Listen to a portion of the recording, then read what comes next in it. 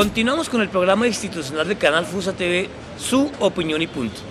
El invitado de esta semana, José Noé Parra Romero, concejal, miembro de la bancada del Partido de Integración Nacional, PIN, acá en el Consejo Municipal de Fusagasugá.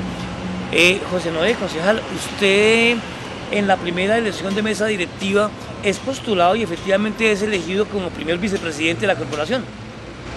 Sí, efectivamente soy segundo vicepresidente. Ah, segundo vicepresidente. Segundo vicepresidente, por, por votación unánime me eligieron como vicepresidente, como miembro de la Junta Directiva de, nuestro honorable Consejo.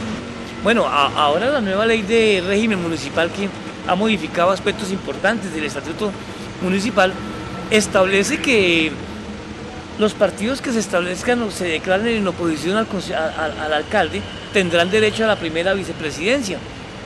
Ustedes como partido obviamente tienen un acuerdo con, el alcalde, con la administración municipal, pero han pensado en un momento en declararse en oposición para reclamar esa primera vicepresidencia. No, nosotros llegamos a un acuerdo por bancadas y acordamos de que ya hicimos un acuerdo lamentablemente el Partido Liberal no aceptó la primera vicepresidencia que le correspondía por derecha, entonces asimismo nos distribuimos la, mesa directiva y, no, y todos hemos trabajado en hermandad, hay una camaradería dentro del consejo que la verdad siento que vamos a vamos todos es en, bien del municipio, más no, no en oposición, ninguno está haciendo oposición. Bueno, José Noé, mm, cuando empieza la administración, el alcalde considera importante otorgarle una posición burocrática, un cargo en cabeza de un miembro del partido del PIN que fue candidato al consejo, que fue Omar Garzón. Luego él sale por circunstancias que desconocemos. ¿Qué pasa con esa representatividad del PIN en la administración? ¿Se perdió? ¿Se la reemplazaron por otra cuota en, las secretarías? A nosotros nos han, dando, nos han dado buena participación, el alcalde nos ha correspondido como debe ser eh, tenemos al jefe de urbanismo, que es Lucho Peña, que es de nuestro partido, fue candidato al consejo. El, eh, arquitecto Luis Peña. El arquitecto Lucho Peña, Luis Peña. Eh, y no, y Omar, pues no sé por qué circunstancias, qué pasaría, pero afortunadamente el alcalde no nos ha abandonado, nos ha dado otras formas de trabajar dentro de la administración.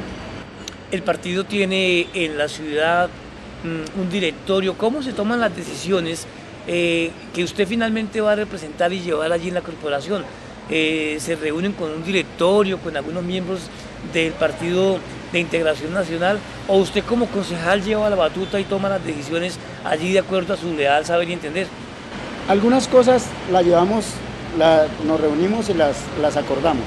Otras cosas cuando me toca, pues yo soy la cabeza del partido, entonces yo tomo las decisiones cuando toca tomarlas y he estado bien acertado, creo que he acertado en mis cosas como he trabajado dentro del Consejo.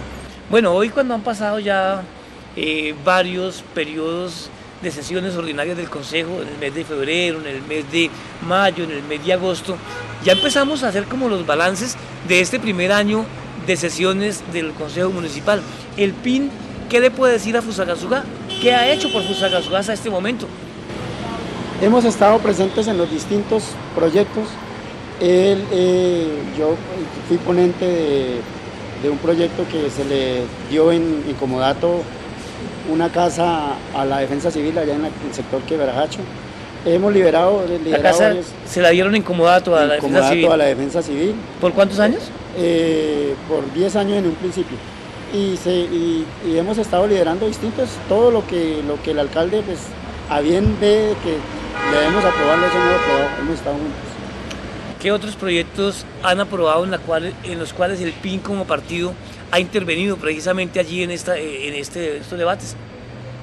Eh, aprobamos lo del, lo del SENA, eh, darle al SENA una parte para que construya un macroproyecto que se está pensando construir, que se pensó construir y ya el SENA se comprometió con un macroproyecto a nivel, a nivel regional y eso va a beneficiar a mucha gente. Ese es, el, tema del proyecto de campus para el SENA allí en el sector de Quebrajacho, eh, sobre el cual el Consejo Municipal hizo una donación de parte del predio para el SENA precisamente. Este proyecto ha sido cuestionado por algunos sectores de la comunidad fusacasugueña, que no ven con buenos ojos que, que el municipio hubiese regalado una parte del predio.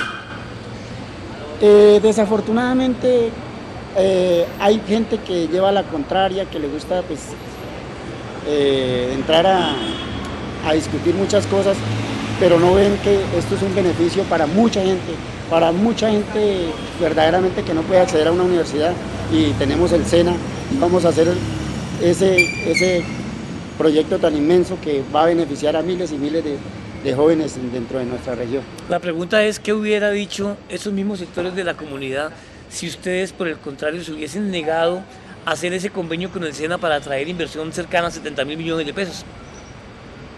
Es, desafortunadamente eso, a eso tiene uno que arriesgar. Nosotros como, como concejales pues tenemos que dar el voto positivo a las cosas positivas dentro de nuestro municipio. Porque si, si nos negáramos, dijéramos no, ahí sí peor se nos vendría encima por la gente, porque la verdad, la verdad que esto es una cosa que va a beneficiar a muchos, muchos jóvenes, como ya lo dije, y todo lo que sea en bien del municipio toca votarlo así, vengan consecuencias futuras. Claro, el servidor público y el concejal es un servidor público, pues tiene que tomar decisiones en bien de su comunidad, ¿cierto?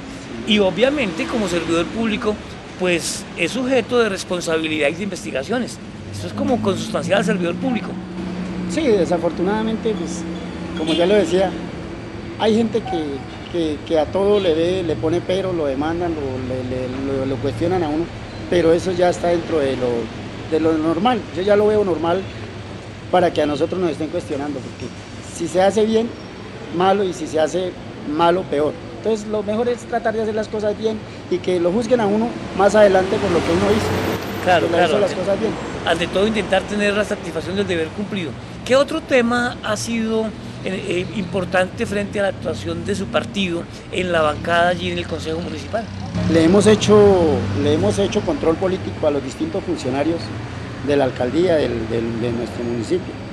Desafortunadamente yo pero, pero, José Noé, ¿sí ha habido verdaderamente control político? Sí. Porque a uno le da la impresión desde afuera de, que realmente allí como que, como que es la, la felicitación y no hay como un verdadero cuestionamiento. Algunos secretari algunas secretarías que realmente tienen muchos cuestionamientos. Eh, mire, por ejemplo, lo del CISBEN. Nosotros tenemos, yo tengo el problema del CISBEN. El CISBEN reclamamos que a la gente se trate bien. No reclamamos de que hagan las cosas imposibles, sino que se trate bien a la gente que la gente se debe tratar como se lo merece.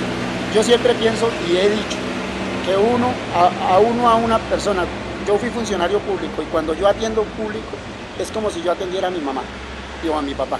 Entonces, para uno es triste que un viejito salga casi llorando y que estuvo mal atendido. Está bien, no se pueden hacer las cosas desde acá, pero al menos no se trate mal a la gente. Es lo único que reclamamos y en eso yo estaba haciendo control político continuamente con, el, con la cuestión de, del CISBEN.